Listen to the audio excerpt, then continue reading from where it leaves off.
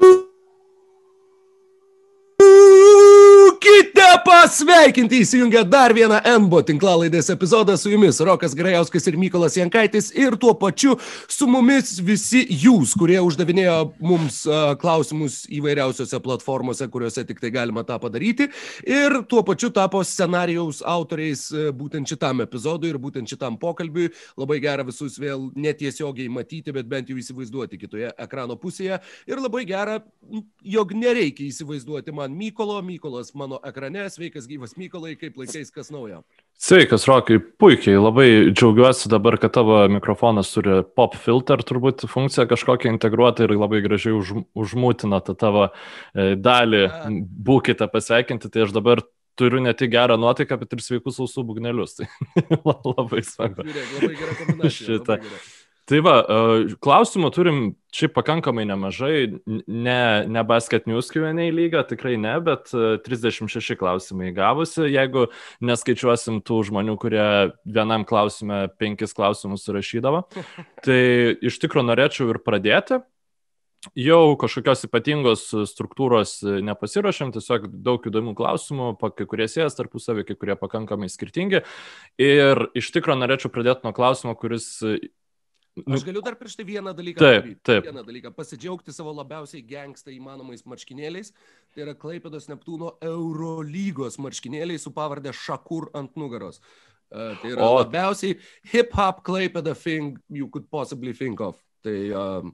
Jo, blemba šiaip kaip kiet, nu, man asmeniškai tai yra geriausias turbūt uh, laikas kaip Lietuvos krepšinio fanų apskritai. Tai tie metai, kai rytas uh, lyg ir žaisdavo Eurolygai, tada na, nu, jau iškrito iš Eurolygos, bet atrodė, kad čia tuoj galbūt vėl sugrįž. Nu, žinai, dar e, e, ryto prisiminimas Eurolygai buvo pakankamai mm -hmm. šviežias. Žalgeris, nu, kaip žaidė jis ir taip žais. Ir tada dar Neptūnas žaidė Eurolygai ir ten, aš neatsimenu, kaip ten jiems sekėsi, bet atsimenu, kad buvo pakankamai Žinai, buvo, solidė jie... atkarpa kažkokia. Nu, žodžiu, atrodo, kad jau turim. Namie, namie laimėjo prieš visus ir gavo tik tai nuo olimpijakoso ir gavo tik tai po pratesimo ir tos vienos pergalės jiems pritruko, kad išeitų į kitą etapą, nes išvyko jie gavo viską ir gavo beviltiškai, bet, mhm. bet vis viena, matyti tą komandą, matyti tas aprangas, mėlynas Eurolygui buvo, buvo neįtikėtina, nes, sakau, kai mes eidavom į rungtynes, tai buvo blogiausia lygos komanda, jie turėjo ilgiausią pralaimėjimų seriją ir panašiai. Ir kai ko nors klausdavom vienas kito, tai skydom, aha, kai Neptūnas Eurolygoje žais. Taip pat, kaip žinai, kaip kad kai keulės skraidys. Tai, tai, tai va, vieną, vieną dieną. Mes trukyti arba ten pradėti sportuoti. ne, ne. ne Tokį safe bet, žinai, pasakai. Jo, šiaip, nes tada atrodo, kad, nu, turim vieną, žinai, komandą, kuri Eurolygai no matter what. Ir tada tokias dvi valencijas, žinai, kurios, nu, aš buvau susikūręs tokią iliuziją ir tikrai tada atrodė, kad žiauriai dideliam pakilime ir aš tiesą, aš net metų nepasakyčiau, kada tai buvo, bet su, su tokia nostalgija. Grantas žaidė šitam Neptūne, nu, Labai, mm -hmm. labai, labai fainai. Tai va, o Galvoju, kas... ar, Euro, ar Eurolygui, jo, lyg tai žaidė irgi, Jeremy. Uh, tad su įžanga per lietuviško krepšinio prizmę galim keliauti ir prie klausimų, į kuriuos susitikome čia šiandieną atsakinėti. Jo. Uh, visų Pirma, gerai, žodis Ai. ir platforma tau, Mykolai, kadangi kažkokią įžangą dar turėjai. E, ne, aš įžangos neturėjau, aš jau turėjau klausimą, kurį tiesiog e, norėjau skaityti, tai nebent, e, nebent, nebent tu dar kažką norėjai pasakyti. Ne, aš, ne, okay. aš jau savo pasakiau. Tai, ačiū. E, šią savaitę iš tikrųjų buvo ne, tema su krepšiniu tiesiogiai labai nesusijusi, kuri šiauriai mane ir biesino, ir intrigavo, ir aš manau, tu žinai, apie ką kalbu, kalbu klausytojai irgi žino, nes ir per labą rytą apie tai šnekėjo, ir valstybių prezidentai, ministrai, pirmininkai apie tai pasisakė, žodžiu, futbolo. Lietuvos manau, kad ne. Ne, ne. Lietuvos net futbolo atstovai, man atrodo, ten Ja, ne, taip, būtų labai juokinga, jeigu, žinai, visi kritikuoja, kad mūsų prezidentas vis nepasisako ir jisai staiga pasisakytų apie futbolo superlygą. Būtų, būtų jo, kurioziška, aš, mažų mažiausiai. Aš balotiravausi prezidentus tam, kad žalgerį, žinai, atvešiu iki... Gerai, gana.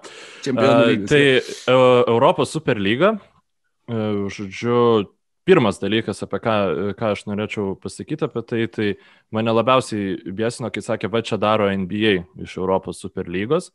nu, su, su ta Europos Superlyga, ne, čia man tai daug daugiau panašumų į Eurolygą turi, ta prasme, to sportinio principo, sakykime, struktūra pačia ir panašiai, tai yra e, visiškai Eurolygos šešėliai, kurie nu, tiesiog e, tai yra pagrindinės komandos, kuriuom nesvarbu yra vietinės lygos, e, tiksliau, svarbu, bet nu, Eurolygos interesai visiškai prieštarauja vietinių lygų interesam ir tuo labiau tarptautinio krepšinio interesam, nes NBA yra uždara lyga, NBA yra vietinė lyga, NBA yra, turi algų kepurę, kuri žymiai labiau apsaugo nuo e, klubų atitrukimo, nes man kaip, pavyzdžiui, arsenalo fanui, tai jeigu nebūtų kažkokia uh, algų kepurė implementuota ar, ar panašiai, Tai būtų, žodžiu, tas tiesiog arsenalas būtų ir taip nu, prastas klubas palyginus su tais ten 12, kurie buvo paskelbti, bet tiesiog finansinė neligybė yra tokia didelė, kad būtų vilkėsis ten nu, visą laiką. Žodžiu, tai Benas klausia, e, klausimas su futbolu. Susijęs, paskutiniu metu daug aistrų sukėlė futbolo superlygos planai, e, bet po visuotinio nepasitenkinimo projektas stabdomas, o klubai atsitraukia. Dabar kyla kalbos, kaip reikėtų elgtis su tais 12 klubų, dalis sako, kad reikia bausti klubus, bet kiti sako, kad fanai, žaidėjai, treneriai nėra kalti. Ir Twitter paskutiniu metu teko matyti nemažai gandų, kad tiek lygos, tiek federacijos ir taip toliau yra labiau linkusios bausti tik klubų savininkus, jei atsitinka taip, kad baudžiami tik savininkai ir žinant Staną Kronkę, e, jo požiūrį į sportą, kuris arsenalo pinigų pinigus finansuodavo, arsenalo pinigais finansuodavo savo franšizės JAV, ar nemanot, kad Denverio Nuggets gali pajausti to pasiekmes, tai um, Aš tai nesu girdėjęs to, kad uh, tik tai savininkus baustų, nemanau, kad taip įmanoma juos nubausti, nebent kažkaip įsikišus, pavyzdžiui, UK valdžiai, atimti iš šių klubų kontrolę, nu, sakykime, ten e, kažkokios tai hmm. teismais ar, ar panašiai. Tu tiesiog savininko nenubausi, jeigu tu išrašysi baudą, savininkas ją e, padengs iš klubo kišenės, ką sėkmingai daro ir šiaip visi amerikiečiai e, Liverpoolio, e, Manchester United ypatingai ir Arsenalo savininkai, jie savo pinigų į klubą iš esmės neinvestuoja beveik. Tai aš nelabai matau, kaip galėtų atsiliepti visas šitas dalykas Denverio Nuggets franšizai. Kaip ir minėjau, finansinis lankstumas e, NBA lygoje yra pakankamai nedidelis, jeigu mes palygintume su ja, futbolu. Aš, aš manau, aš atsiprašau, kad įsiterpsiu, bet manau, kad nebent prabangos mokesčio uh, nenorui mokėti. Bet Nuggets visada turėjo nenorą mokėti prabangos mokesčio. Tai čia, nu, sakau, jeigu mes lyginam, pavyzdžiui, su futbolo, futbolo ką gali reikšti, tarkim, bauda ir, ir, ir panašiai tai pačiai franšizai, kur gali tavo savo visą klubą nu, nurident. NBA, NBA tiek daug reikšti negali dėl būtent tų finansinių saugiklių. Aš kaip personalo fanas tai žiauriai norėčiau, kad, sakykime, Stanas Kronkė dabar būtų labai piktas, kad nesigavo tos Europos superlygos padaryti ir parduotų tą klubą, bet, uh, nu, kita vertus, kas, klausimas, kas jį nusipirktų. Noriu dar kažką pridėti dėl šio klausimo? Ne, manau, kad arsenalas yra, jeigu jau buvo paminėtas arsenalas klausime, tai kam, kam man kalbėti, kai esi tu e, šitame duete. Aš galiu sujungti du klausimus visiškai atsitiktinai, e, kurie pakliuvo po akim. Tiksliau, jie turi bendrą temą, bet e, atsitiktinius, ne, ne kažkokius geriausius ar prašiausius ar pirmus sąraše, tačiau tiesiog iš vidurio. Kornelijus Gardžiulis bei Arūnas Rusakevičius mūsų klausė. Pirmas klausimas, kaip manote, ar net nepakiškojos playoffuose tas, jog jų didysis didysis trejetas yra sužaidęs tik septynerias rungtynes. Ir tuo pačiu kitas klausimas, ar Maikas Džeimsas gali turėti apčiuopiamą naudą Bruklino Nets klubui. Būtent apie tą, kad labai mažai jie žaidė kartu, pagalvojau prieš kelias dienas, kai pasirodė pranešimai, jog Hardeno, žodžiu, ta trauma vėl kaip ir atsinaujino, kaip ir sustiprėjo ir kad jisai nežais ir gali būti, jog nežais iki pat atkrintamųjų pradžios. Tai primena pernykščius Los Angeles Clippers, kai būtent ta pati problema buvo komandoje, jo komanda visiškai nebuvo susižaidus kartu. Skirtumas yra tik tas, kad tose septyneriose rungtynėse, kurias žaidė kartu Bruklino Nets didysis trejetas, net netrodė, kad jie gali kažkaip nesusižaisti, kadangi tai tikrai buvo įspūdinga ir, ir paliko įspūdį tokį, jog, na, atrodo, jog tikrai šią komandą įmanoma tik tai permesti taškais, o jo sustabdyti bus neįmanoma. Uh, tad tas klausimas būtent dėl susižaidimo lyginant su tais pačiais Clippers, manau, kad jis turėtų mažiau potencialios žalos pridaryti Bruklinui, bet to nurašyti nereikėtų ir tai gali išlysti atkrintamosiose, gali pasimatyti dalykų, kurių nepasimatė reguliariajame sezone. Ir būtent šitas faktorius yra didžiausias klaustukas, kalbant apie Bruklino uh, potencialą išeiti iki finalų arba ir iškovoti NBA čempionų žiedus, kadangi, sakau, būtent pernykščiai Clippers man ta asociacija iškart stovi prieš akis ir, ir galbūt susidūrė su sunkumais, jie subirės taip pat, kaip tą padarė Los Andželas. Kaip tau atrodo, Mykolai? Na, aišku, kad e, traumas jos na, visada yra žalingas e, reikalas, ypač komandose, kurios e, realiai taip, net taip ir nesusiformavę dar atrodo, iki, iki to jau pilno geriausio varianto ir skaudžiausia tai žinoma bus tų gynybinių schemų netradimas, nes tai yra komanda, kokios niekada nebuvo anksčiau NBA lygoje, nieko panašaus nebuvo, sakau, galbūt Clevelando Cavalier savo, e, tais jau e, ne čempioniškais metais, bet... 16-17, nu, 8... ar ne? Man atrodo, kad tie metai, kai buvo nu, tai jau, ir... Pa, jo, ir, ir plus paskui paskutiniais ten jau Lebrono metais, kai, nu, sakykime, tikrai jau buvo visiškai į polimą koncentruota komanda. Tai vad gal kažką panašaus galima būtų iš jų um, playbooko e, pasiskolinti, bet, e, bet būtent to atšlifavimo, žodžiu, Jeffo Grino integracijos į tą viską besikeičiantį penketą, e, sugebėjimo Kairį Irvingą slėpti taip, kad ta gynyba veiktų, nes um, atsiprašau nuolatinių klausytojų, jeigu kartosiuosi, bet reikia suprasti, kad viską keistis gynyboje e, skamba paprastai ir, sakykime, elementar, elementari šitos strategijos implementacija jinai nėra sudėtinga. Tu nu viską keitiesi, bet e, kai mes pasižiūrim, kaip žaidė Houstono Rockets savo geriausiais laikais ir iki kiek jie buvo iš e, iki kiek buvo išvystyta ta viską besikeičianti komanda ir tai buvo grinai susižaidimo reikalas, nes kai paskui tie žaidėjai, sakykime, buvo pakeisti panašaus talento žaidėjais, tačiau nu, vėl kitais žmonėm, e, tai, tai vėl iš naujo reikėjo viską mokytis, nes tikrai labai svarbu pajausti savo rolę, kurį krepšininką reikia ten pasaugoti. Nusakau, čia būtent Kairi Irvingo problema būtų. Nes galvoti, kad Bruklinas gali gintis kažkaip kitaip negu besikeičiančių gynybai, tai kas lieka zona tada. Nu, zona Bruklinui man irgi atrodo pakankamai sudėtingai iš, iš, išpildoma. Arba man to man ir nesikeisti ir bandyti lipti per užtvaras, kai jos yra ne, statomos. Baigtų su, su Hardenu ir Kairi Irvingu, tai yra du blogiausiai lygai, tą darantis krepšininkai. Nu, prasme, gerai, nu, galima rasti blogesnių. Dar Maiką Jamesą pasiemė, nu, kuris čia yra kita klausimo dalis.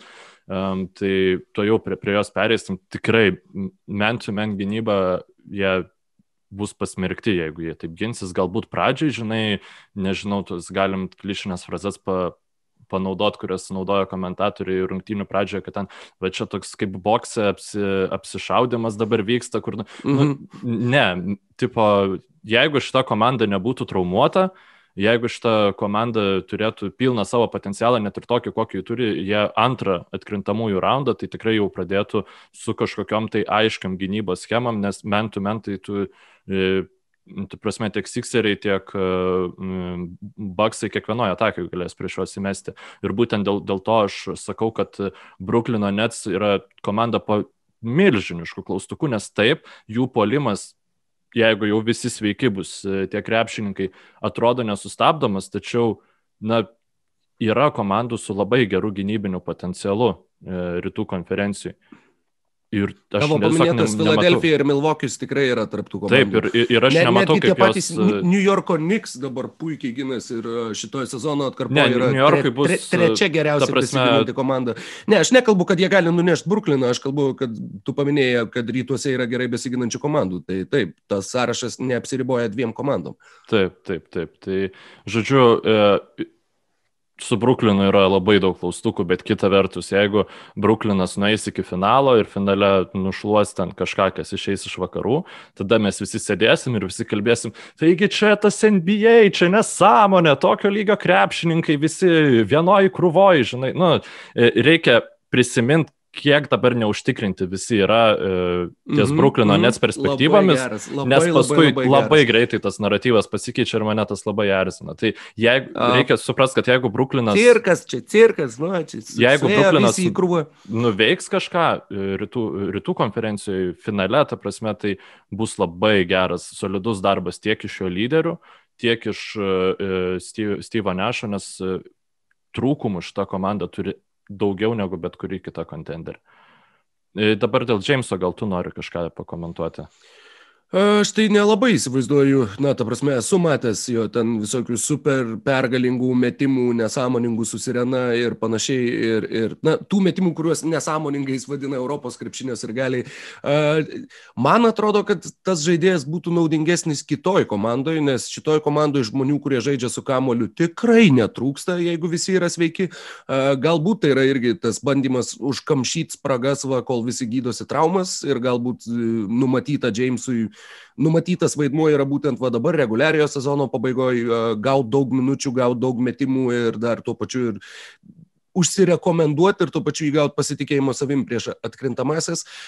Bet jeigu kalbėtumėm apie tai, kad ar ten yra geriausia terpė jam atsiskleisti, tai manau, kad tikrai ne. Bet net nežinau, jie pasirašė jau oficialiai tą kontraktą, nes vienu metu buvo, kad skelbiama, kad pasirašė, tada kažkas paneigė, kad ne, visgi kontrakto ne, tai dar nėra. Šam, šamsas paskelbė ir jisai pats, nei jisai, nei Vaužas nepaneigė, tai mm. kol oficialiai dar nėra, bet ten, žinai, daug ko oficialiai nebuvo. O, o kokios pasirašė. trukmės ne, ne, nematai? I, iki sezono galo. Iki, iki sezono, sezono galo. Ai, tokiu atveju taip, tokiu jo, atveju. E, tai Aš tai manau, kad e, tavo tas išsakyta pozicija yra visiškai teisinga. Jeigu atkrintamosiose Maikas Džeimsas turės žaisti bent vieną sekundę, tai reiškia, kad jau Bruklinui yra kažkas negerai, žinai.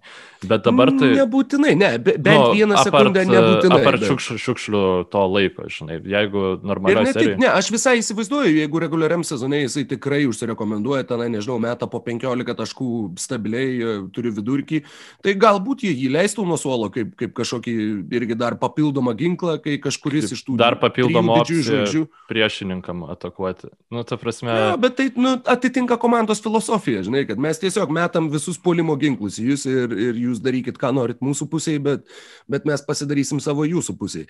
Uh, tad jo, ir iki reguliario sezono galo, jo, Maikui Jamesui manau, kad jeigu jisai vat būtent užsirekomenduos ir jeigu dar ir gaus pažaisti atkrintamosiose ir jeigu dar ir tenai gerai atrodys, tai iš tos pusės žiūrint, reklaminės vietos jisai geresnės negalėjo rasti, nes visos akys yra į Brukliną ir, ir kalbant apie kitą kontraktą, kurį tu pasirašysi po šio sezono, šituo atžvilgiu ta vieta visgi turi ir savo pliusų, tikrai taip. Nu, žiūrėk, yra dar viena komanda, kuri, man atrodo, tikrai Jamesui, jeigu kalbant apie jo ilgalaikės perspektyvas NBA, kurių šiaip turbūt... Orlando Magic. Nes Ne, ne, tikrai ne.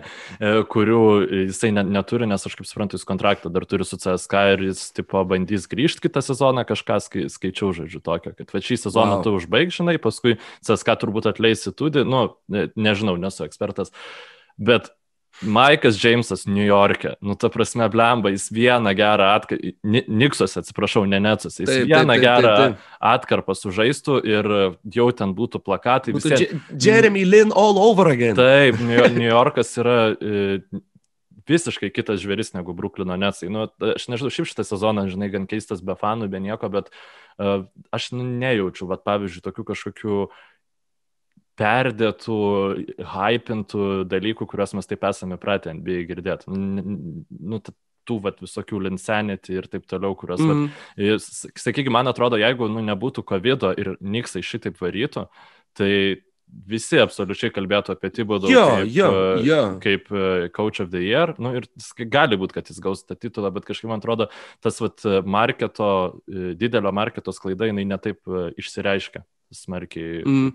Nu, čia toksai nukrypimas labai, atsiprašau. Bet... Ja, su, susirgaliais dar vieną nukrypimą irgi uždėsiu, neatsimenu ar sakiau ar ne, bet uh, buvo pirmos rungtynės, kai grįžo sirgaliai, pirmos rungtynės Filadelfijoje ir tų rungtynių ten gal kokiam antram kelinuke, kad kažkas nutiko, ar teisėjas sušvilpė kažką ne į tą pusę ar panašiai ir kad visi žiūrovai, nors jų yra labai nedaug, visi pradėjo švilpdžiauriai. Ir tą akimirką jų komentatorius Allah Abdelnabi sakė, kad o, va dabar aš jau jaučiu, kad yra žiūrovai arenoje. Kad, žodžiu, būtent švilpimas yra tas, tas kas įkūnė Filadelfiją. Bet Niks irgi, Niks ir gali pasitiko Porzingį, ne, ne, nematei. Mm -mm. To video. Jie kai žaidė Dallasas, žaidė prieš New Yorką, žaidė mm. Madison Square Garden ir visas, visas Madison Square Garden, nors ten buvo gal pusantro tūkstančio žmonių skandavo KP sucks.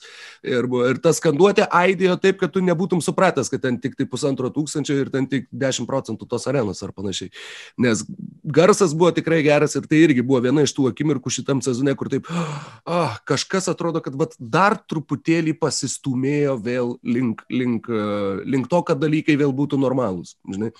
Uh, tai, tai jo, niks ir gali ir, ir nuokrypis. Sportas labai padeda ta prasme, tas rūpė, rūpinimasis beprasmių dalykų, kažkokiu mėgavimis jo, labai jo. padeda atitrūkti nuo realybės. Palyginus, nu, vat, an, antrą karantiną ir pirmą karantiną. Šitas karantinas, man, aš nieko, aš net nelabai jaučiu, kad kažkas buvo kitaip. Aš šiaip ar taip sėdžiu namie, žinai, barai uždaryti, niekur neišeisi. Nu, šiandien jau kitaip. Uh, bet, jo, bet kai vyksta sportas, jeigu tu gali sekti sportą, jo, tas sportas toks truputėlį iškastruotas be žiūrovų, bet, nu, bet jis bent jau vyksta. Vat, pirmas karantinas, kai nieko nevyko, va, tada tai buvo, tada stogas važiavo, o dabar kažkaip jo, kaip tu labai teisingai ir išsireiškiai, rūpintis kažkuo beprasmišku suteikia tokią didelę prasme, kad net nebejauti kažkokio diskomforto.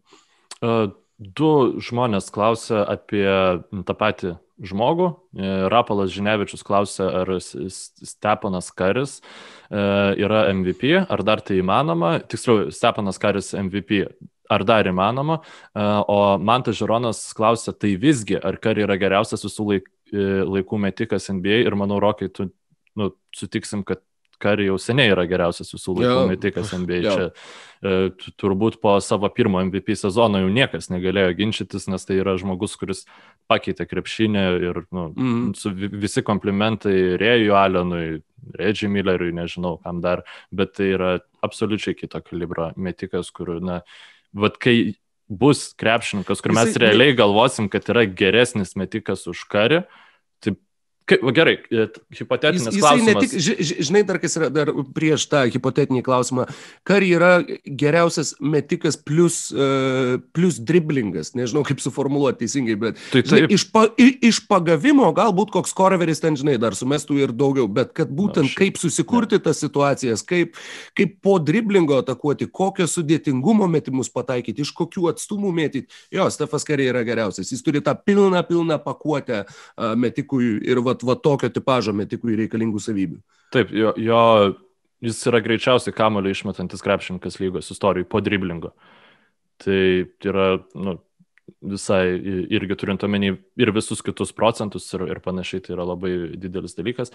MVP tai jis, nu, be šansų, kad jisai įgautų, tikrai, tikrai ne. Uh, Bet mano širdį, tai Karis kuo toliau, tuo labiau yra MVP šitą sezoną. Nu, ką jis... Jų čempionas. Nu, tik, tikrai, ta prasme, mm, okay, yra Dreymondas Grinas, aš jo indėlį vertinu toje komandoje, e, jisai labai gerai papildo karį, bet ta komanda be Karinų apskritai tai... Ja, ja, košmaras. Iškristų iš NBA lygos.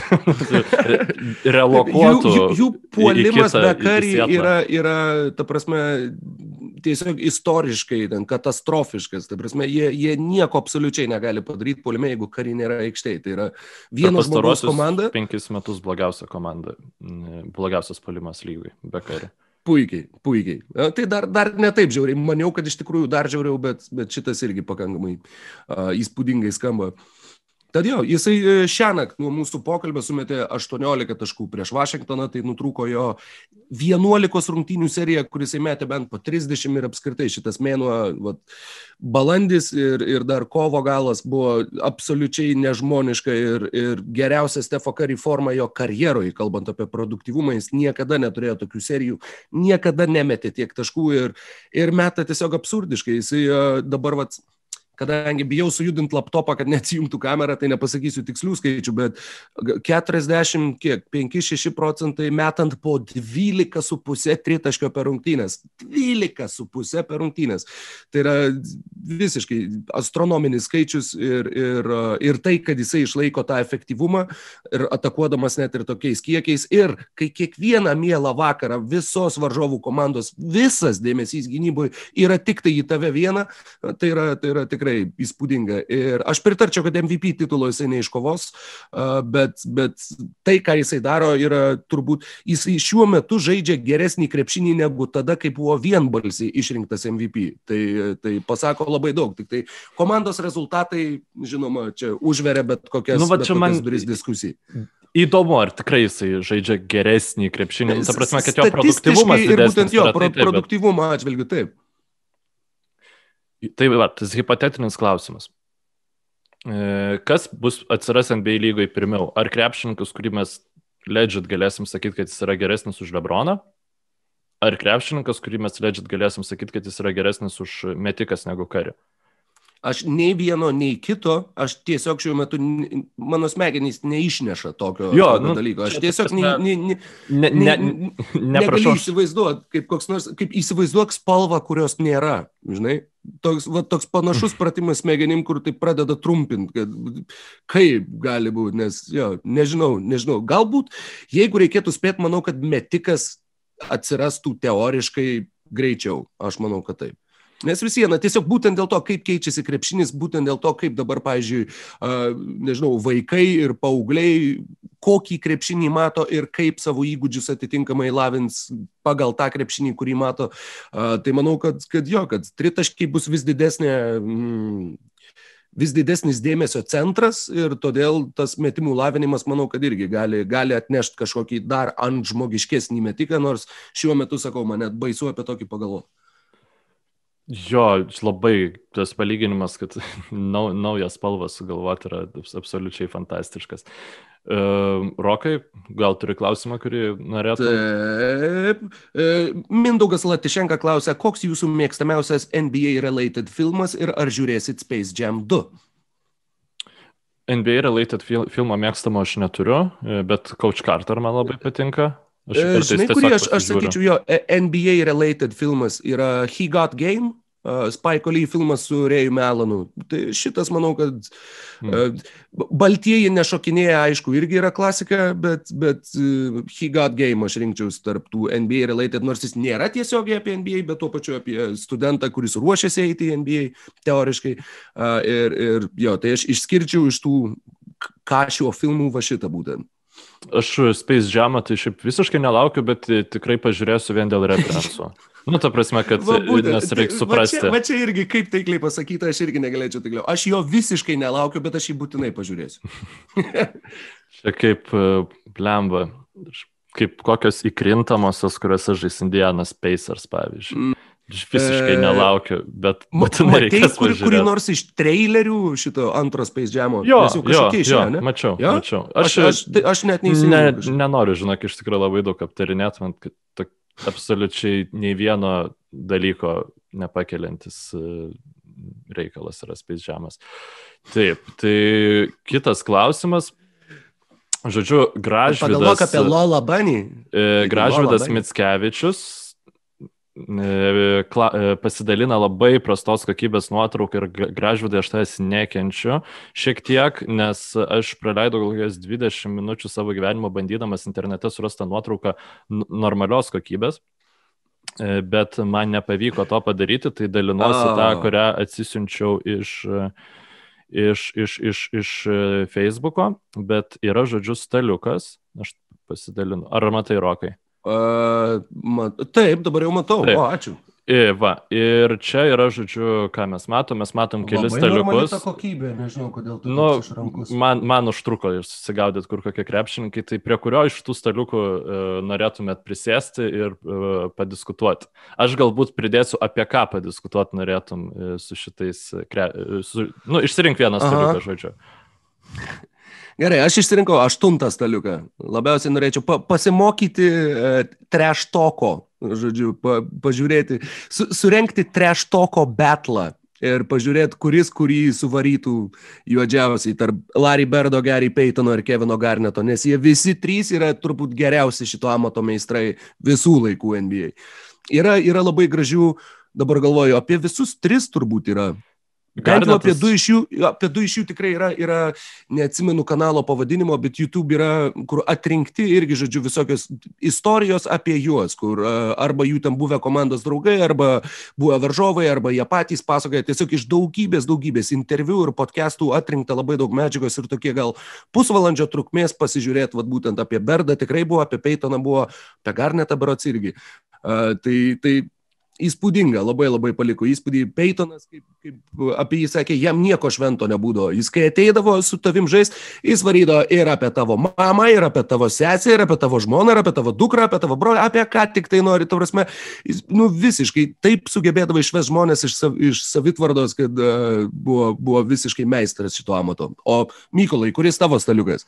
Uh, man labai keistas staliukas, tai atrodo antras, kur yra Jordanas, Leonardas ir Anteto Kumpa. Aš įsivaizduoju, kad tiesiog Jordanas sako, nu tavai, žinokit, Hornetsai tikrai gera komanda, tai prasme, ateikit, pabandykit. Aš arba, arba, nu, faktas, kad ten kalba Jordanas ir Leonardas Janiu tiesiog klausosi. Janis turbūt savo jo, broliam, jo, jo, jo. broliam rašo tiesiog blemba, žinok, prie vieno staliuko. Selfius darosi. Negaliu patikėti.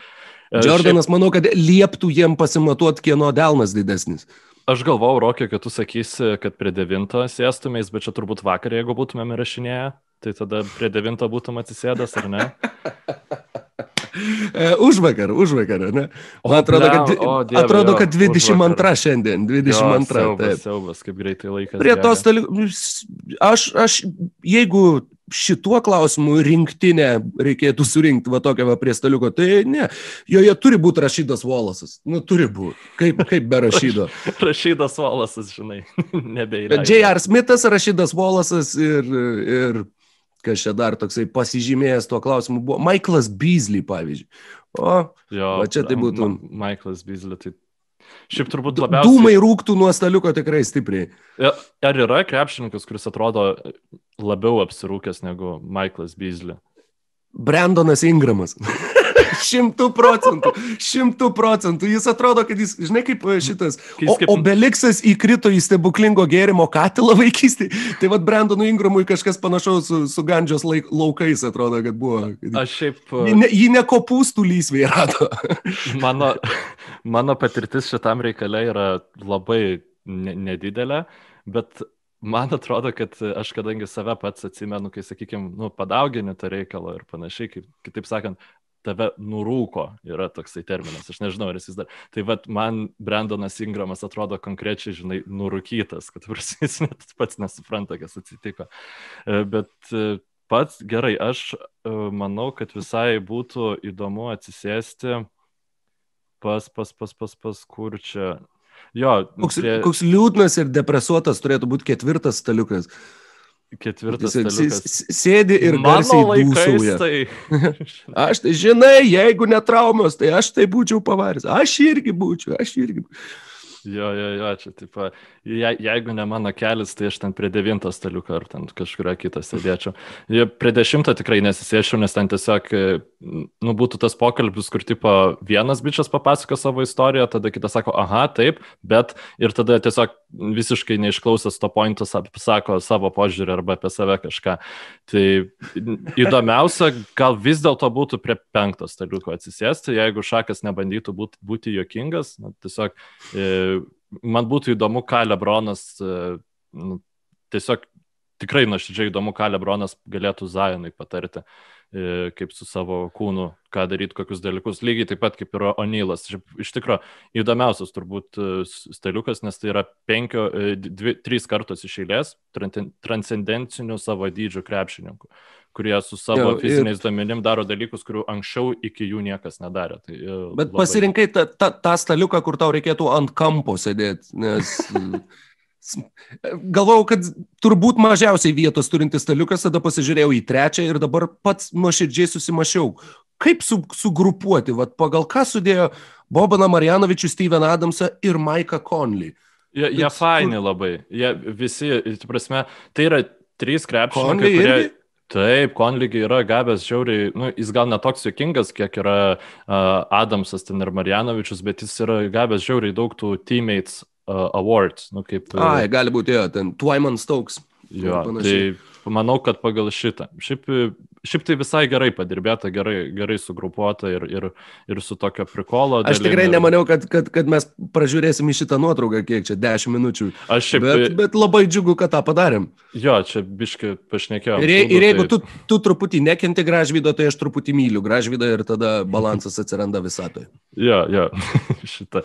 Ok, e, Rokė, kitas klausimas. Ai, tiksliai, tuo žinok nepasiruošiu visai, kadangi užsižiūrėjau. Tai aš gal tada, e, tu ieškok, aš į, į vieną Vilma Urbanaitė klausė, sveiki, jeigu kada tai aptarėte, tai ignoruokite ir žiūrėjote Making the Case YouTube seriją apie, apie aštuonis galimus GAUT krepšininkus, kokie įspūdžiai ir kokį panašų turinį galėtumėte rekomenduoti. Tai įspūdžiai apie tą seriją, taip aš ją esu žiūrėjęs, yra labai faina, tai yra naratyvų labiau paremta serija, kur tiesiog, nu, pasakojama, hypinama ta krepšininko kelionė, e, jo pasiekimai labiau akcentuojami. Panašus ganėtinai turinys yra, sakykime, savo tikslu, Tai Beno Tayloro serija, aš ten postą YouTube komentaruose šiaip esu palikęs, ją palikau iš karto, uh, kuri vadinasi Greatest Peaks, kuri išėjo, bet grinai šiemet. Tai yra, aš sakau, vienareikšmiškai šiemet geriausias krepšinio turinys internete. Uh, atsiradęs šiemet, tai turiu omeny šį sezoną krepšinio, ne šitus kalendorinius metus. Ir ten Benas Tayloras kalba grinai, jis nelygina pirmiausia svarbaus dalyko, tai pat Jordanas šito eroj, tai jis ten būtų žvėris, nes yra prasta gynyba ten ir taip toliau. Ne, jisai lygina, kaip palyginus su likusia lygos dalimi, tas krepšininkas tuo metu atrodė. E, vertina ne visą karjerą, vertina tris metus, E, tris metus geriausius, geriausius e, karjeros, žodžiu, ir tikrai labai yra įdomu pažiūrėti. Sakykime, tai nėra, kur garantuotai sakytų, kad va čia šitas yra geresnis už tą ir panašiai. Nu, tai tiesiog labai daug e, krepšininkų apžvelgta. Man asmen, asmeniškai labiausiai patiko vaizdo įrašas tai apie karį, ten beveik pusę, pusės valandos tiesiog na, parodantis, kiek neįtikėtinas krepšininkas tai yra. No, tos pačios tos pačios serijos Making the Case dabar va eina šiuo metu ir paleidinėja vis naujus uh, ne apie krepšininkus, o apie komandas. Tas pats kanalas, kad, žodžiu, kuri komanda yra geriausia visų laikų komanda. Mhm. Uh, tai keletą tų irgi teko pažiūrėti, irgi labai labai smagi serija, jo, kaip tu sakai, kad viskas taip labiau pasakojimu, o ne kažkokiais tai ten ypatingom išvalgom. Bet, pažiūrėjau, pasižiūrėti apie 70-71 Milwaukee Bucks man buvo žiauriai įdomu, nes aš labai nedaug žinau apie tą komandą, būčiau išvardinęs tris žaidėjus iki tol, kol pažiūrėjau tą. Nors bijau, kad pažiūrėjau. Ir dabar tris. Toliau išvardinčiau tik tris, bet, bet, ja, bet, bet va, bent jau visas kontekstas, dar kažkas, kaip jie žaidė, kaip jie dominavo, ką jie darė ir taip toliau. Ir labai labai smagi serija ir uh, smagu yra, kad, kad YouTube NBA atžvilgių tikrai galima daug, daug, daug valandų praleisti labai smagiai žiūrint visokius panašaus pobūdžio dalykus. Povilas Gailiūnas klausė, kartu su Roku žaidžiam toje pačioje NBA Fantasy lygoje. Man įdomu, kaip jis taip greit pastebi tokius naudingus žaidėjus, kaip pavyzdžiui Melaki Flynn ar Moses Brown, kurie atrodo visiškai no name. Uh, vienas dalykas, vienas dalykas, čia yra ne ta lyga, kur mes kartu žaidžiam, žaidžiu dviejose, tai kad, kad nesistebėtum. Čia baigiam, nes niekam nereikia žinot, kaip man sekasi tai lygai. Gerai, gerai, aš, aš jau, žinau, galvojau kažką pasakyti, bet gerai. Uh, o, o Melaki Flynn, Moses Brown, Vienas yra variantas, tai tu, kai tu tiesiog žiūri rungtynės naktimis ir tu pirmas pamatai, kad jie labai gerai žaidžia ir tu, pažiūrėjau, paimi žaidėją, kuris tu tos nakties jo taškų jau nebegausi, bet tu matai, kad jisai, pažiūrėjau, kad, kad labai gerai labai gerai žaidžia ir turi potencialų ir toliau labai gerai žaisti. Ir kitas dalykas yra, ką daro ir, ir daug žmonių tose dviejose fantasy lygose, kuriuose žaidžiu, tai yra sekti traumas, Jeigu išsitraumavo kažkas, tai tada, o, supranti, kad, kad va, Lauri ir Van Vlytas žaidžia rečiau, vadinasi, pas juos žais kažkoks kitas įžaidėjas daug minučių. Tai kas bus tas įžaidėjas, tai va bus Melaki Flinas. Nu, tai pabandom jį paimti ir pažiūrėsim, ar jisai gerai varys ar ne, nes minučių gaus daug. Uh, tai iš esmės jo, kai, kai renkiesi tuos žaidėjus, tai va, būtent ir ieškai, kas gaus daug žaidybinio laiko. Ir atkasti tuos tokius žaidėjus, kurie išlenda sezono pabaigoje, uh, tai tą, tą ir tą galima padaryti tik tai sezono pabaigoje. Ir ta, ta žvejyba yra labai smagi, bet iš kitos pusės sezono pabaiga erzina, nes abu du žaidėjai, kurie yra paminėti, yra faktiškai iš komandų, kurios, atsiprašau, Toronto, bet nu, nelabai ne, ne ko siekia ir dabar grinai investuoja į jaunų žaidėjų žaidimą. Uh, bet yra ir tų krepšininkų, kaip, pažiūrėjau, kas nors, kas turėjo šiai Gildžis Aleksandrį, kaip turėtų keiktis, arba aš turiu abiejose lygose Jeremy Grantą, Jer... Jeremy Grantą, jo, galvoju, kuris iš trijų Džerdžia Džer vardų, uh, kurie vat, irgi ju, juos tiesiog sodina, jų neleidžia į aikštę, nes nenori, kad komanda laimėtų. Tai su šituo yra toks balansas, kurį, kurį irgi uh, kartais, kartais būna sunku surasti. Jo, aš labai džiaugiausi išsikeitęs Weizmaną į Masoną Plumley, nes jisai ir taškų, ir atkovotų, ir asistų pakankamai padaro, nu, bet Pistonsams, Pistonsam Plumley per geras centras yra ir dabar jie irgi neleidžia, tai Taip, va, tiesiog... Isaiah Stewartai ir panašiai. Jo, Dabar, jo. Va, dėl to ir renka skaičius. Mano klaida pagrindinė, kad aš pasiemu va, tos flinus, visokius stuartus ir taip toliau prieš jiems gaunant realiai žaidimo laiko ir tada jau nebenoriu rizikuoti. Tai dėl, dėl to man, nu, dabar aš tiesiog išleidžiu aktyvę sudėti ir jau ne, ne, ne, nebekeiteliuoju tų krepšininkų. Uh, Tomas Mušenkovas klausė, mm, Mykolai, ar gali pa, paanalizuoti Hawk salary cap situaciją, kokia padėtis pas juos su pinigais ir kaip baigsis padėtis su Collinsu. Jis norėjo Makso, jam siūlė mažiau, padėtis šiai dienai nepasikeitus, jei nieko nepraleidau, tavo nuomonė, kaip kaip baigsis ši istorija. Dar įdomu būtų jūsų išvalgos ir nuomonės. Širšės ar vanagai e, geriausiam, dina, e, artimiausiam dinastijos etape pasieks e, daugiau. Tai dabar pirmiausia apie salary capą situaciją. Mm, Atlantos Hawks tu jau atsidarysiu savo šito lentelę. Ir taip, tai situacija yra tokia, kad pinigų neturės daug ateinančią, ateinančią vasarą, turės 7 milijonus. Um, nebent atsisakys teisų į Joshua Hollinsą, nes uh, Collins, atsiprašau, nes jo uh, cap holdas tai yra vieta, uh, kuri ir, uh, yra užimama algų kepuriai iki pasirašomas kontraktas su apribotu agentų arba birdo teisės uh, turinčių krepšininkų, tai yra 12 milijonų. Tai sakykime, jeigu paliuosuotų uh, Collinsą, jie turėtų 19 milijonų, bet mano spėjimas būtų, kad jie uh, lowballins Collinsą, e, tai yra pasiūlys mažiau negu jis norėtų pasirašyti um, ir tada tiesiog matchins e, bet kurį pasiūlymą, mhm. kurį pasiūlys kita komanda ir išmainys tada tą krepšininką Warriorsam. Nu, mano būtų tokia va prognozė. Būtent Warriorsam, gerai. Aš manau, nu, jie turi trade exceptioną, jiem e, šitas krepšininkas ypač reguliariam sezone būtų žiauriai nu, reikalingas ir naudingas. Būtent krepšininkas, kuris patikimai gali pelnyti taškus, Uh, Warriorsam kaip ir nebūtų bėda gal šiek tiek permokėti jam, jie turi, um, aš šiaip nežinau, ar galimas dvigubas sign and trade, kur Ubrėje išsiųstų į, į, į Hawksus. Nu, žodžiu, aš manau, kad Warriors sudėtis ganėtinai mm. ženkliai keisis, uh, bet visgi spėjimas būtų, kad jeigu viskas bus gerai Atlantai, tai Collinsas ateinantį sezoną uh, jau jo nepradės. Um, nes faktas, kad jie bandys per tarp sezonį išmainyti, nes sezono metu mes, kaip matom, yra žymiai sunkiau gauti kažką daugiau už uh, krepšininkus. Tarp kitko, aš manau, kad ir Kailas Laurius tą pačią priežastim Torontas jo neišsiuntė, nes pagalvoja, kad mes galbūt galim tiesiog pratesti jo sutartį ir tada kažką žymiai daugiau gauti tarp sezonį per sign and trade opciją, nes komandos, kurios tik tai uh, tokiu būdu galės pastiprinti savo sudėtį, jų yra pakankamai nemažai ateinantį sezoną. Dalius Stuoka rašo, užduosiu tokį klausimą. Kuris lietuvis jūsų manimų šiemet žaidžia geriausią sezoną? Žinau, kad Domas Olstaras ir taip toliau, bet vis tiek manau, šiemet čia tikrai legit diskusija gaunasi. Įdomu būtų išgirsti jūsų argumentus už kiekvieną. Už kiekvieną, tai čia turbūt kiekvieną iš dviejų. Visgi. Jo, nemanau, kad Sirvydas uh, žaidžia geriausią sezoną. Yra. Ne, ne, matai, e, galbūt Europoje kažkas žaidžia dar geresnį sezoną. Aš bet, bet, manau, kad čia. Manau, apsiribokim jo, jo ties Jonu ir Domu.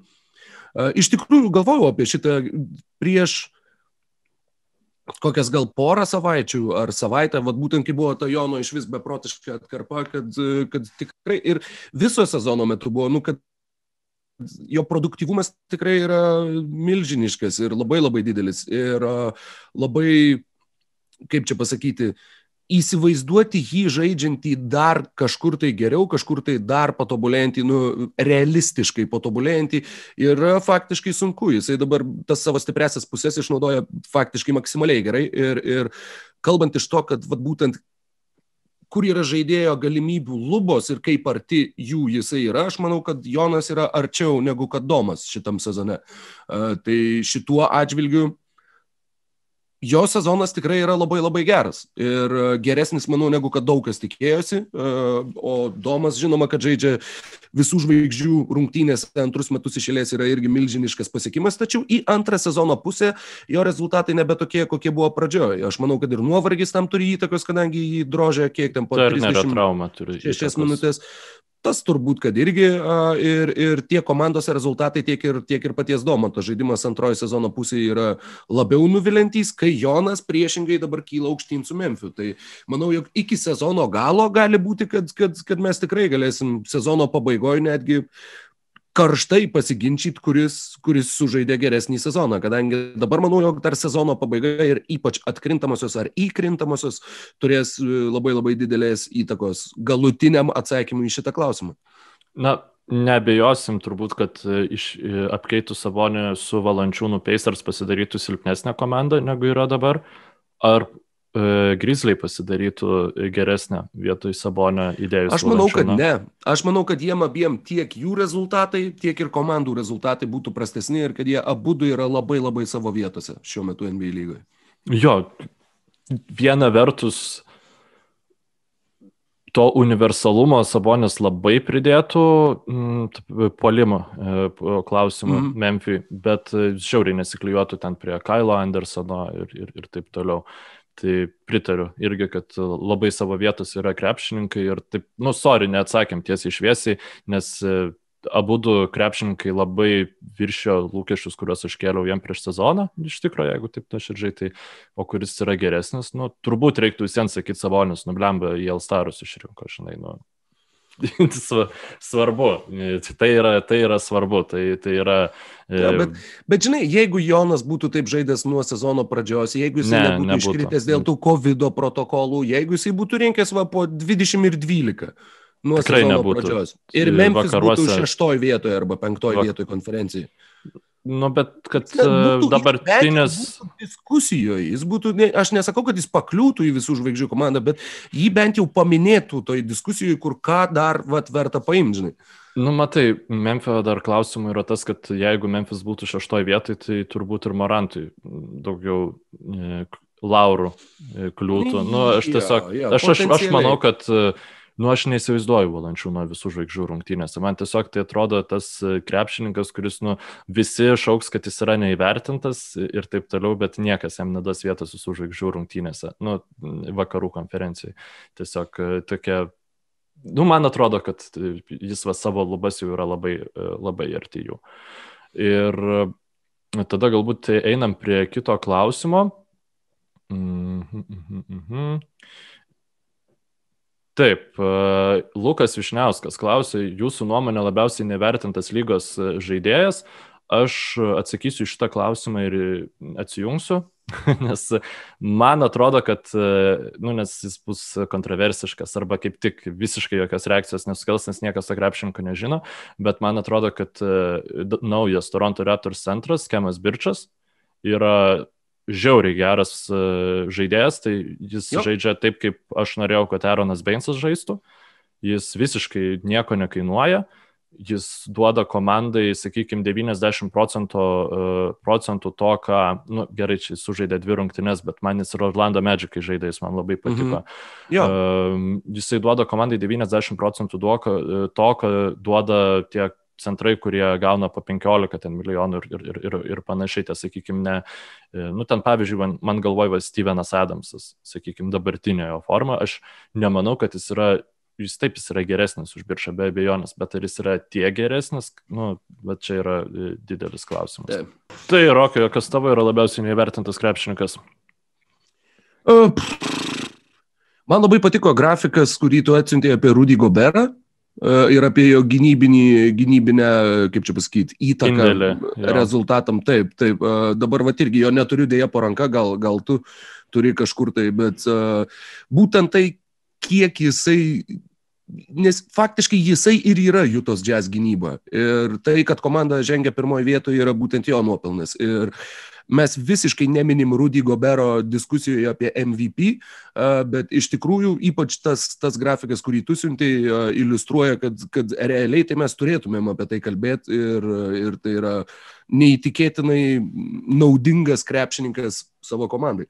Tai yra e, Twitterio toksai puslapis Basketball e, B-Ball Index, e, kuris nu, realiai yra pus, puslapis at, at, atstovaujantis puikią platformą, žodžiu, nu, statistinių visokių ten analizių ir taip toliau. Ir tiesiog pasidalino tokia informacija, kad Rudy Gobero gynybos įtaka, indėlis pagal jų tam tikrus selektyvius parametrus yra per pastarosius 12 metų e, didžiausias, koks yra fiksuotas, 6000 iš viso krepšininkų ir jų sezonų yra įtraukti į šitą analizę ir Rudy Goberas būtent yra pirmoje vietoje.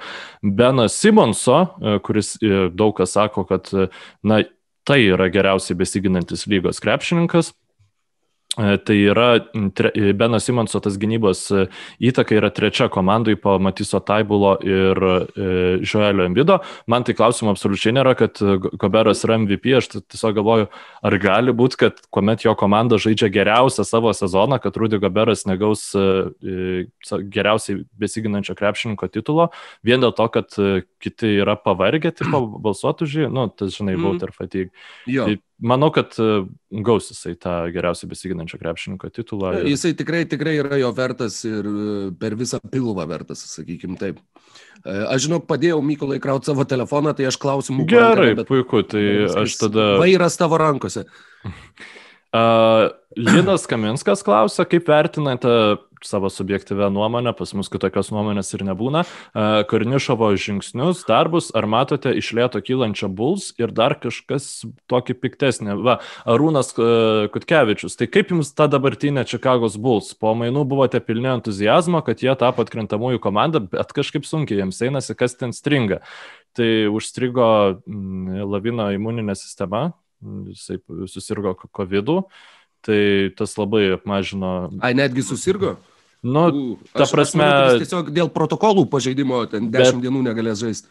Tai kad tas laikas ilgiau negu 10 dienų, tai yra tokios labai stiprios spekulacijos. Atsiprašau, kad aš taip užtikrintai pasakiau, yra stiprios spekulacijos, kad jisai serga, nu, žodžiu, COVID. Mm. E, nes labai nedaug krepšininkų šiaip oficialiai paskelbė. Tai Teitumas iš karto paskelbė, mm -hmm. Derekas Rauzas iš karto paskelbė, bet e, krūva ten iš Toronto Raptors tai niekas atseit nesirgo.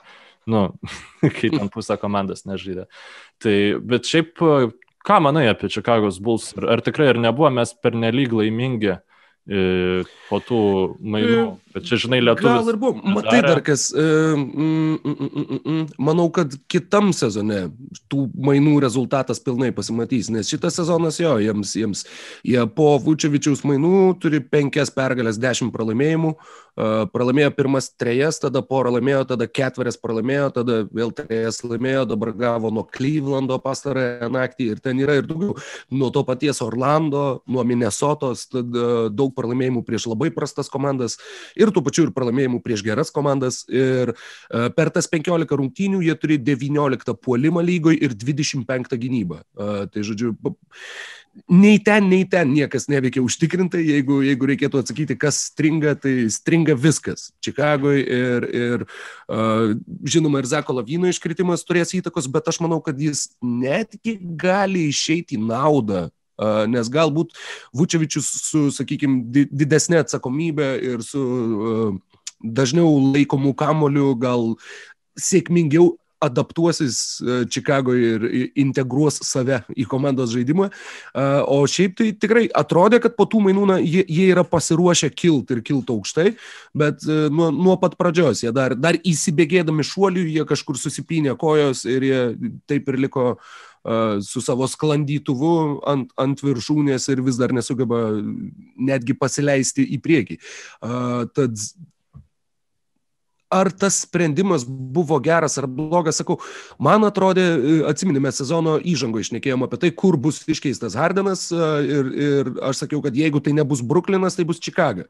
Kadangi atrodė, jog tas ta sudėtis yra labai labai pasiruošusi mainam, jau tokia prisirpusi ir kad jie bandys įstumti tuos savo žetonus ir gauti kažkokią žvaigždę. Ta žvaigždė tapo Vučevičius, kuris žinoma yra ne Hardeno lygio krepšininkas, bet aukšto lygio krepšininkas, bet bent jau kol kas, na tikrai tie mainai yra vienas didžiausių nusivylimų šitam sezone, kalbant apie, apie lūkesčius e, po kažkokio įvykio ir apie tai, kaip bent jau kol kas e, tie realūs rezultatai rutuliuojas. Ne, nu, nereikia ten iš karto mm, bausti, e, bausti e, Karinišovą, nu, be Zako Lavino tai jie nieko absoliučiai negali padaryti. Tai kaip žaidė šį sezoną Zakas Lavinas, tai uh, jo buvo absoliučiai visas Čikagos bus polimas ir niekas nekalbėjo, kad Vučiavičius bus naujas geriausias krepšininkas, visi kalbėjo apie jo, kaip jis papildo Laviną, kiek jis jam naujų galimybių uh, suteikia ir tą mes protarpiais matėme.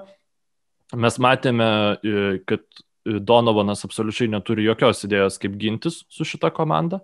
Ir aš manau, kad ateinantį sezoną Donovanas pradės ant žiauriai karštos kėdės.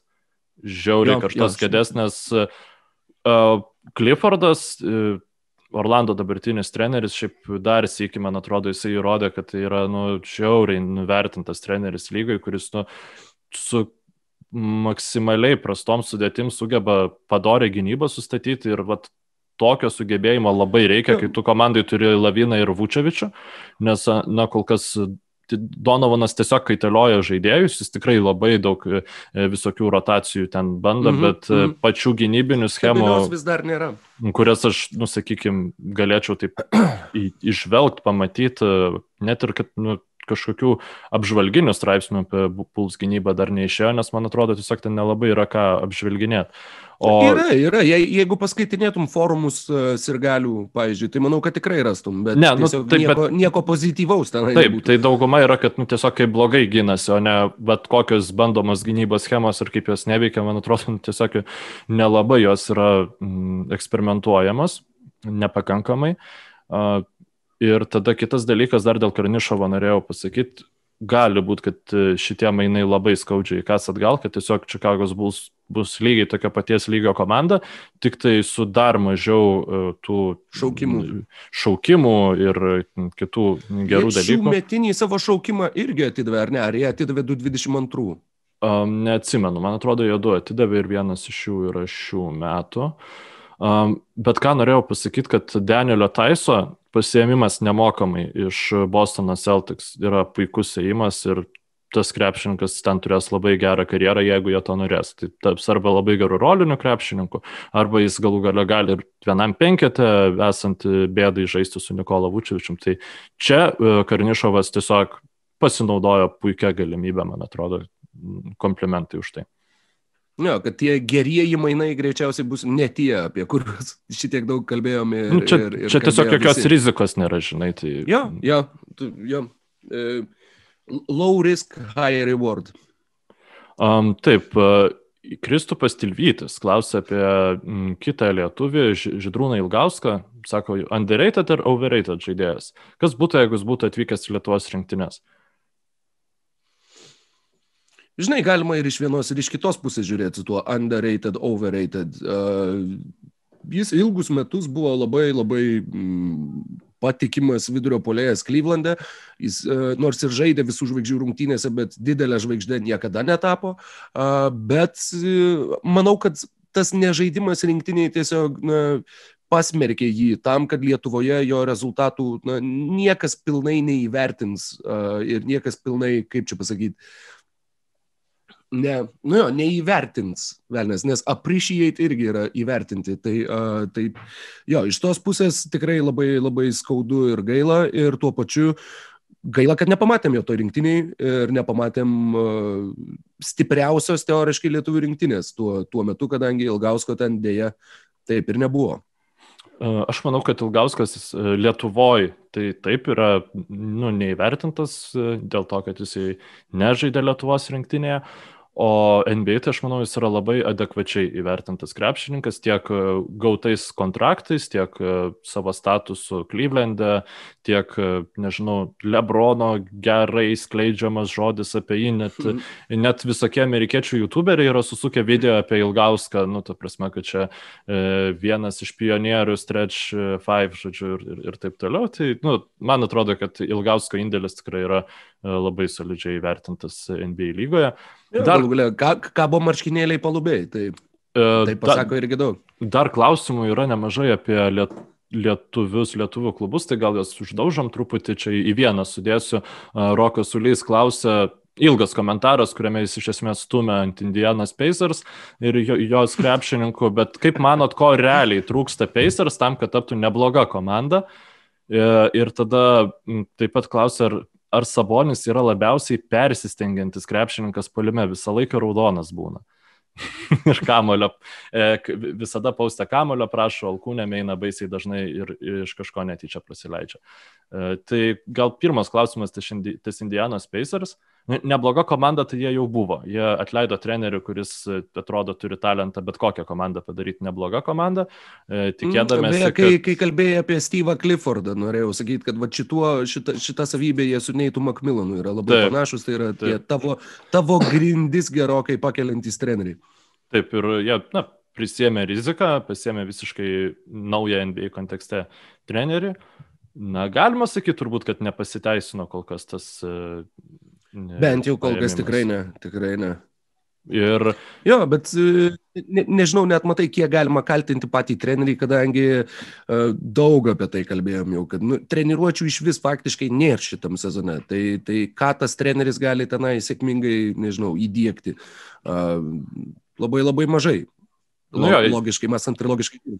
Dėl to tie patyrę treneriai, kaip Macmillanas, kaip Tibodau šį sezoną turi tą uh, upper hand, jeigu angliškai labai jo, atsiprašau. Beje, jo. Pra, pra, pranašumą, pranašumą, tikrai taip. Niekad dar nebuvau apie tai pagalvojęs, būtent apie šitą sezoną kalbant, bet taip.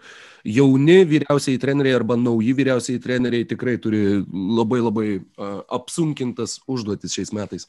Dėl Sabonio persistengimo, tai aš gal ten dėl to jo raudonumo nu, tiesiog būna būna tokie žmonės, kad ir per kūno kultūrą, kai krepšinis žaidžia, ten visada vienas klasiokas būdavo ir jis visada prakaituotas ir raudonas, ten piktas atrodo visą laiką. Tai Sabonis turi šitų vaibų, bet būtent dėl to visada postint prašo.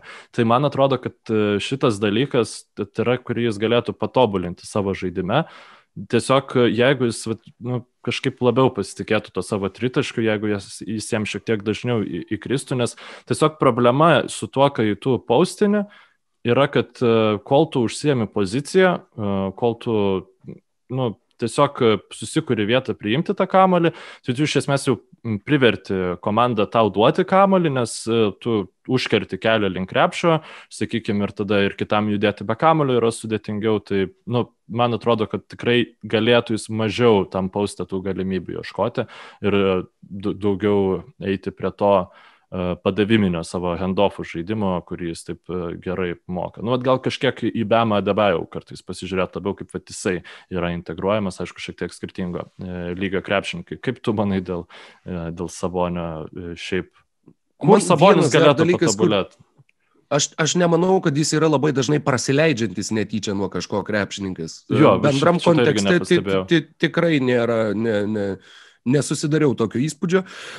Kaip galėtų patobulėti, jo, tritaškai be abejo būtų, būtų esminis tas tobulėjimo taškas, kuris turėtų daugiausiai įtakos ir kurį būtų teoriškai bent jau lengviausia pasiekti. O šiaip tai, žinai, visame kame galima tobulėti ir, ir net ir tame pačiame pauste žaidžiant irgi galima tapti dar geresniu krepšininku, nors, nors jau dabar Domas ten žaidžia labai labai aukštų lygių. O ir kalbant apie komandą,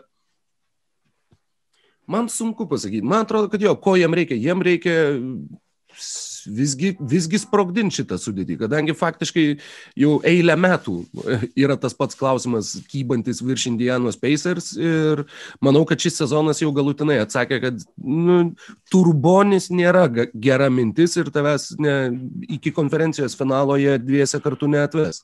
Ir bėda, kad, manau, tur... kad, kad jų ir laukia mainai.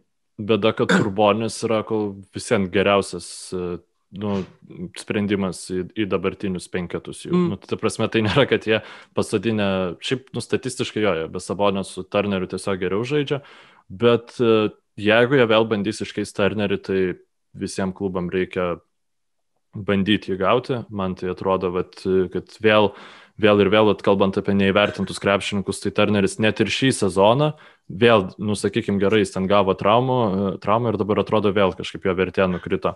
Um, jo, protingai kalbant, aš tau pritariu, kad Brogdanas turi nemažai vertės, Sabonis, nu, bet kaip manai, kas už Sabonį galėtų duoti tiek, kiek už Vučevičių gavo Medžikai?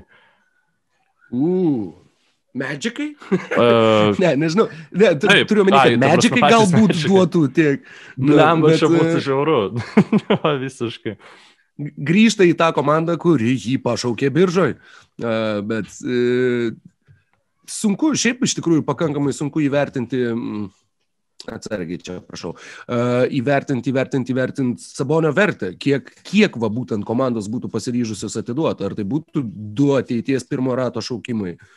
Ir ar būtent kuri komanda save įtikintų, kad, kad toks žingsnis uh, juos priartintų prie titulo?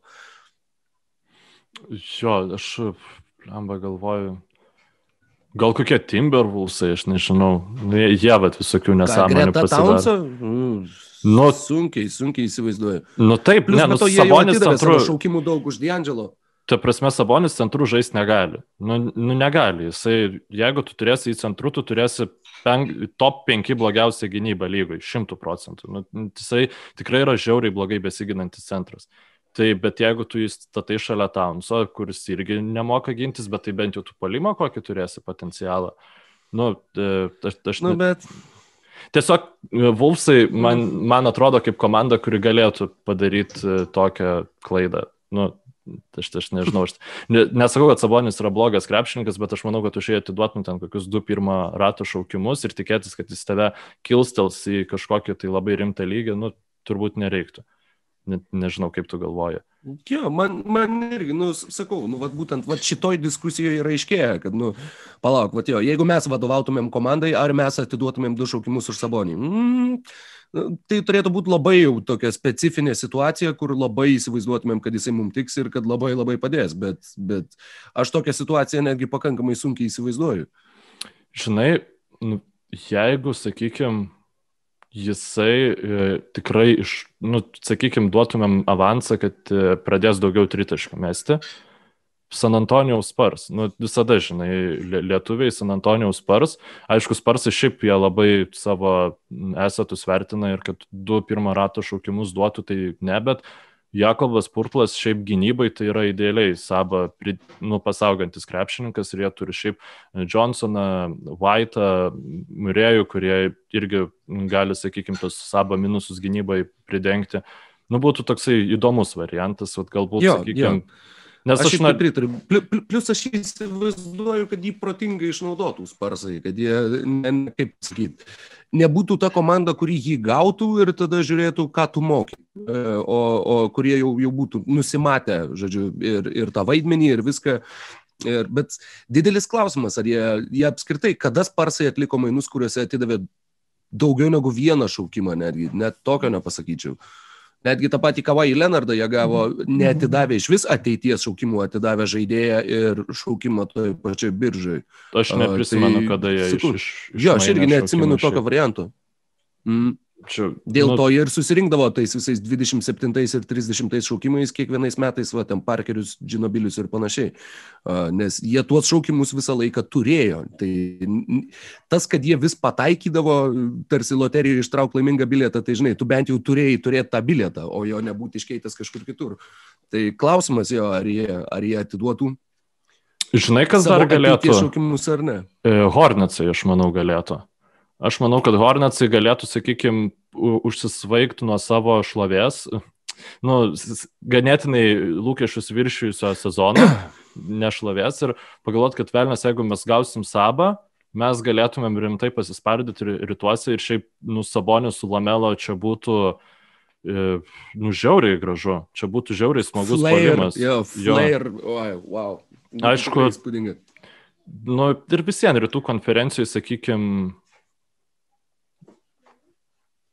galvoju dabar. Na, nu, žinai, čia galvot, galima daug sugalvoti. Gal koks nors Detroitas, pavyzdžiui, sugalvotų, kad jiems vat, labai labai reikia, kad jie aplink Sabonį dabar statys komandą. Arba m, mm, tos komandos, kurios, nu, vat, yra labai labai žemai. Nežinau, Houstonas, pavyzdžiui. Arba nu, atsakau, kaž, kažkas iš tos serijos gali irgi susivilioti tokią, tokią perspektyvą, bet, uh, bet sakau, vat, mainų vertė turbūt visgi, mes žinai, kai mes kalbam apie Sabonį, mes tarsi jį matom iš vienos prizmės, bet jeigu pradedam matuoti tą mainų vertę, tu suvoki, kad jis mūsų akise yra truputį geresnis negu yra iš tikrųjų, turbūt taip. Jo, e, gali taip tikrai būti. Nu, turbūt Sabonis yra vienoje visiems iš geriausių situacijų, kokioje gali e, būti, jeigu žiūrint apie, nu, jeigu žvelgtumėm į kitas NBA komandas. Ir aš tikiuosi, kad Paceriai nesprogdins šiaip savo komandos, aš tikiuosi, kad jie bandys toliau lipdyti aplink tą brandolį, kad jie turės sveiką sezoną ateina bent vieną ir kad mes, nu, tiesiog galėsim toliau džiaugtis bet... savonių žaidžiančių aukšto lygio krepšinį. Aš, kadangi Paceriai. Bet jeigu jie visi sveiki, jeigu tas pats brandolys, nu, tai vis viena, kiek tai yra, tai ketvirta vieta rytuose čia Max. Tai Jo, nu, man galima tai, laikyti tokią komandą, jeigu, jeigu juos tai tenkina, tai žinoma, bet... Man kaip lietuviui tai labai gerai. apie titulą, tai... Geriausias nu, tai... žaidėjas ketvirtojo rytų konferencijos komandai man tai yra labai gerai. Jeigu aš būčiau kaip Pacers fanas, tai turbūt pritarčiau, kad e, atsakymas yra aiškus, bet kita vertus, nu, tu gali susprogdinti komandą ir tada tiesiog murgdytis e, ir, ir ten pastoviai gauti šaukimus, uh, top 10, nu, vad būt Hornetsais naujais, žinai. Būt Phoenixu pa, pa, pas, pastarojo dešimtmečio. Jo, nu, jeigu su tokia pabaiga kaip Phoenixui dabar šviečias, tai gal ir visai verta. Nu, matai, bet tai jo, tai tik, tik tai dėl Kriso Polo faktiškai. O kiek, kiek buvo tų šaukimų, kiek buvo Draganų, Benderių, kiek buvo Markycų Krisų, kiek buvo uh, visko, Aleksų Lenų. Uh, nu, blemba, negali čia sakyti, kad tik tai, tik tai dėl Kriso Polo, nes jeigu ne jų, sakykime, rodytas puikus ja, žaidimas burbulė, mm. Polas ten tikrai nebūtų ėjęs. Ir, nu, tu prasme, jie, mm, sakykime, iš tikrai atrodė beviltiškos situacijos. Nu, jeigu mes prisimintumėm, kaip mes apie Sansus praėj, praėjusią sezono pradžioje kalbėjome, tai jie tikrai padarė labai solidų darbą, sakykime, be kažkokių tai nu, naujos talento injekcijos. Monty Williamsas treneris taip pat labai labai įnešė pozityvios energijos ir auros. Ir tuo mm. pačiu jo, dar, dar atsimenu ir prieš šį sezoną, kai kalbėjom, jo, kad kalbėjom apie tai, kad Sans gali būti top 3 vakaruose ir dabar, dabar matyti juos top 3 vakaruose yra irgi vienas iš tų tokių, yes. yes. Nu, neslėpsiu, čia jau buvo tavo spėjimas.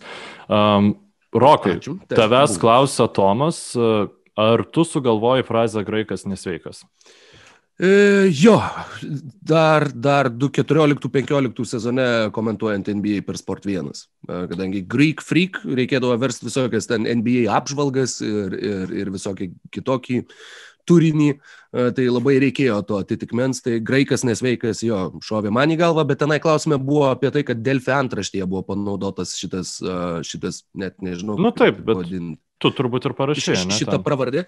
Ne, ne, aš į antraštę rašęs nesu. Tai jo, tai gali būti, kad kažkas iš kolegų tiesiog irgi kažkam prilipo tą patį frazę. Šiaip, nu, komplimentai tau tikrai labai e, geras vertimas.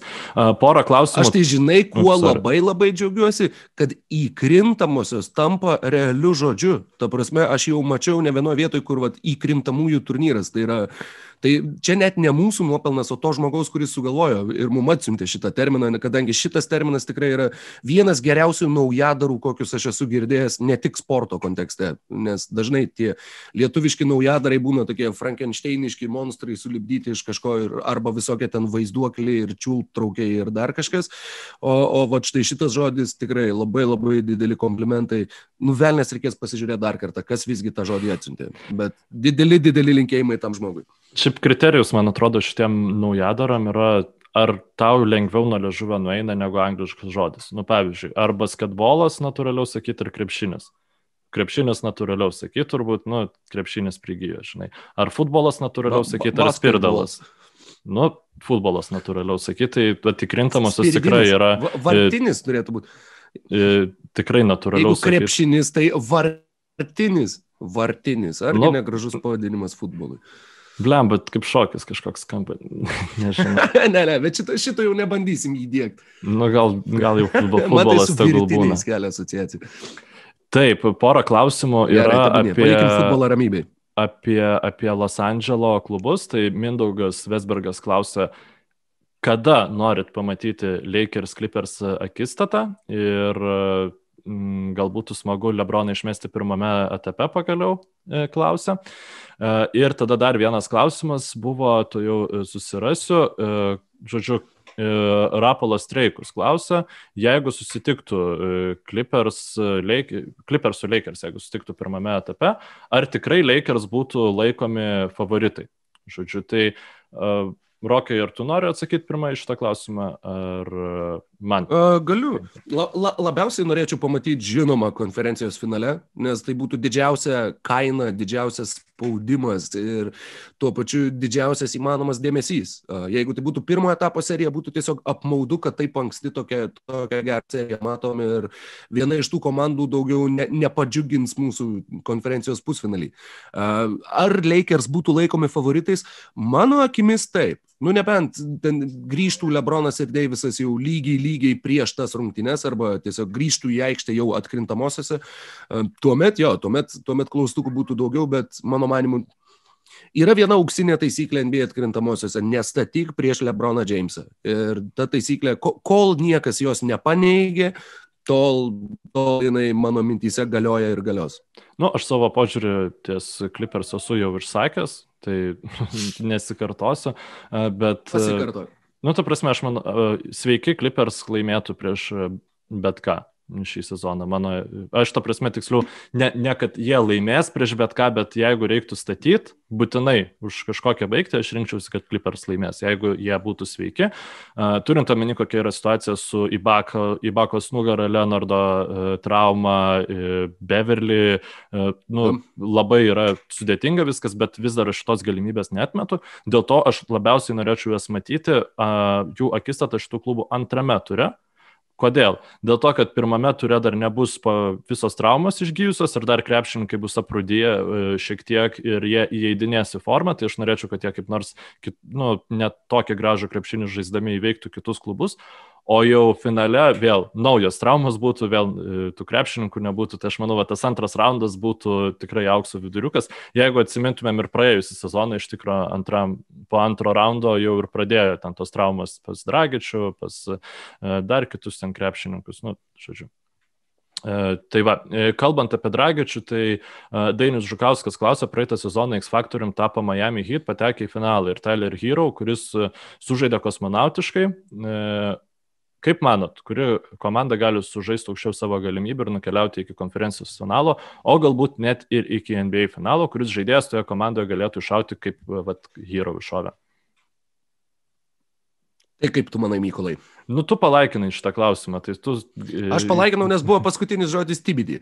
A, o... todėl, kad, todėl, kad puikiai pažįstu dainų. Tai, A, ok. Todėl ir palaikinau. Blambar gali niks. Ne, gal. Nu, va, aš galvojau, žinok, va šiandien irgi žiūrint tas visas komandinės statistikas, trečias gynybos reitingas per pastarąsias 15 rungtynių. Hmm. Turiu prisipažinti, kad seniai dabar nemačiau, kaip Niksai atrodo realiai aikštėje, tiesiog seniai nemačiau Niks rungtynių ir norisi, norisi pažiūrėti. Mane jau, sakau, supratau, kad va ta komanda, kurią dabar labiausiai noriu pamatyti NBA, yra Niksai. E, ir nemanau, kad jie žaidžia kažkaip labai seksualiai, bet būtent kiek tas kiek tas komandos ryšys, kiek ta chemija veikia, nes tarkim, Miami atveju tai matėsi, jau burbule matėsi labai labai ryškiai, kad, kad jie būtent, kad jie tiesiog groja vieną melodiją ir labai labai aukštų lygių, o dėl to norėtųsi pamatyti Niks ir, ir pažiūrėti, kiek tenai atrodo, ar, ar, ar atrodo realu, jog jie gali padaryti kažką panašaus. Nu, man vienas toks juodasis arkliukas tai yra nu, visiškai nesąmoningai skalbės, e, skambės, bet jeigu Lamelo grįž sveikas, jeigu Heivardas išsigydys traumą, nu, gali Hornets patekti fokusu. Ta prasme, nu, tiesiog turiu vat, kažkokią tokią nuojautą, kad ta komanda, kurią aš apskritai buvau iki nu, negalėjimo nurašęs prieš sezoną, vat, nugalėtų gerai. Ma, mano, en... mano fantasy komanda vadinasi Charlotte Hopeless. Jo, nes, ja. nes tikrai galvojom, kad iš jų nieko nebus. Bet... Ir nu, galbūt iki finalo per daug, bet vat, pirmus du raundus. Praeit... Pir, pir, pirmą etapą praeiti jau jiems būtų labai. Jo, nu ta prasme, aš manau, kad jie galėtų tapti surprizais. Je, jeigu jie lieka ten ketvirti, ketvirti, penkti ir nukala, pavyzdžiui, tos pačius Niksus ir tada žaidžia su Filadelfija, nu, būtų įdomi serija. Aš nežinau, kiek, kiek, kiek realu būtų tikėtis jų pergalės, bet... Nu, dabar nelabai realu, kad jie užims tą penktą vietą, nes 28 pergalės turi Hoksai 32, tai mm, daugokai, daugokai reikėtų Sunkiai, jo. užjudėti sezono gale. Nu, aš dar turiu šiokią tokią...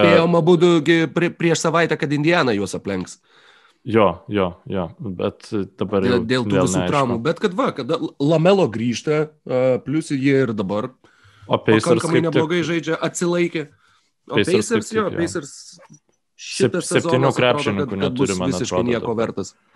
Eikti savo. Nu, aš dar turiu Ouch. tokią, tokią svajonę, e, Raptors ir Warriors svajonę, tai, nu, Warriors gal realesnė, kad galėtų, žodžiu, pirmiausia, kad papultų į atkrintamasis Golden State'as ir tada, kad e, joje, nu, išprievartautų Rudy Goberą, kaip tu čia kažkada spėjai, žodžiu. Ouch.